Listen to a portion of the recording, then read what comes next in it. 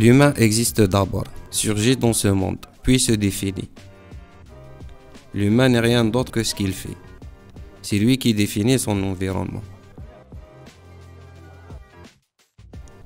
De nos jours, qu'est-ce qui nous représente et nous définit? Que sommes-nous en train de réaliser? Que sommes-nous en train de devenir? L'humain et sa relation avec son milieu, environnement dialogue, sont au cœur de ma démarche.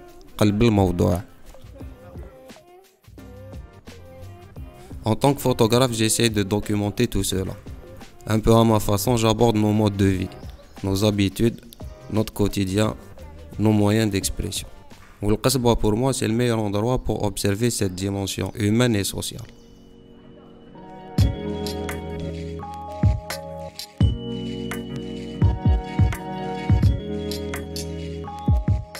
Dans mes photos, je donne beaucoup d'importance à la composition, l'esthétisme, la simplicité la pertinence de l'idée et du message.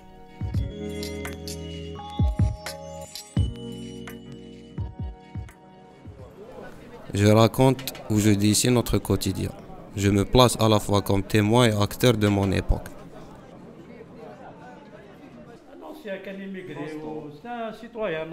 Avant, l'histoire s'écrivait avec de l'encre et du papier.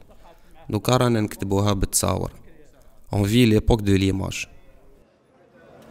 Au fond, il n'y a pas de sujet prédéfini pour la street photo.